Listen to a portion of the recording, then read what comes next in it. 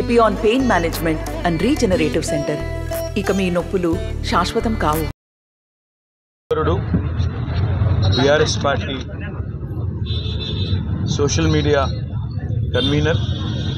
అదేవిధంగా తెలంగాణ ఉద్యమంలో క్రియాశీలంగా పనిచేసిన విద్యార్థి నాయకుడు Telangana state mineral development corporation మాజీ అధ్యక్షుడు సోదరుడు మన్నె క్రిషాంక్ గారిని ఒక ఫ్రివలస్ కేసులో అంటే ఒక పనికిమాలిన కేసులో చేయని తప్పుకు ఇవాళ అరెస్టు చేసి ఈ రాష్ట్ర ప్రభుత్వం గత వారం రోజులుగా వేధిస్తూ ఉంది.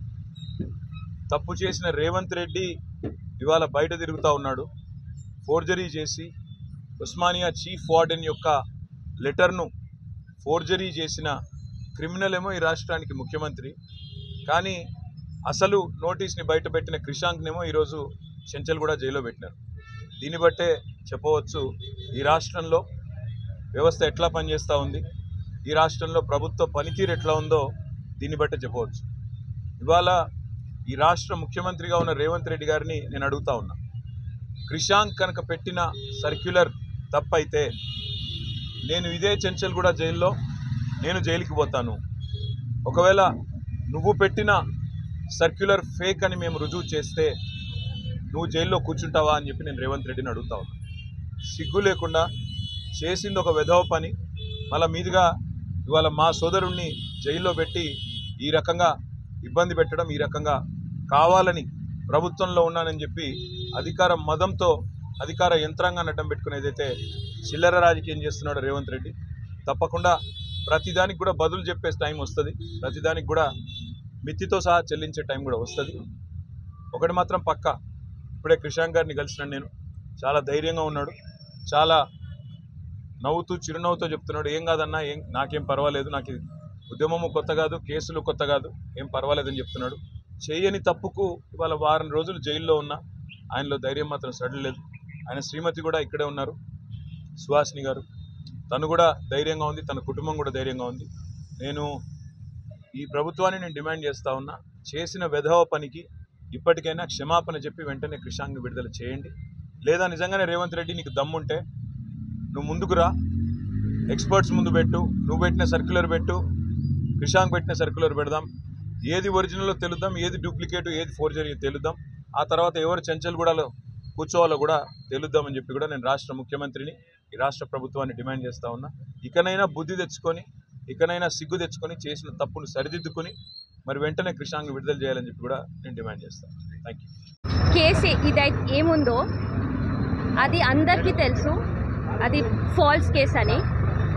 ఈ కేస్ చాలా మంది గమనిస్తుంది.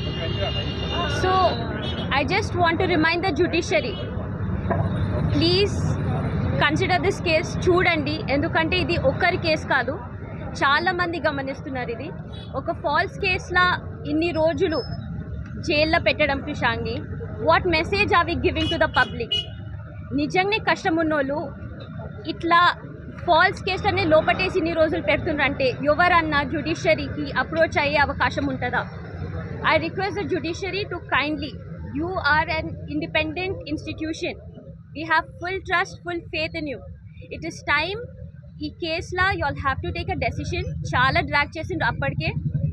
Kindly give a decision and instil confidence in the public in the people so that every one who has ఈ కష్టం ఎవరికి వస్తుందో ఎనీ కష్టం వాళ్ళు జుడిషియరీని అప్రోచ్ అయితే మాది పోతుందన్న ధీమాతోటి వాళ్ళు రావాలా. కానీ ఇట్లా ఫాల్స్ కేసెస్లా ఇన్ని రోజులు యూనో న్యాయం రాకుండా ఇట్లుంటే I think people will lose trust that we definitely don't want. And Dukante, you all are the protectors of the society. So we have utmost trust in you all.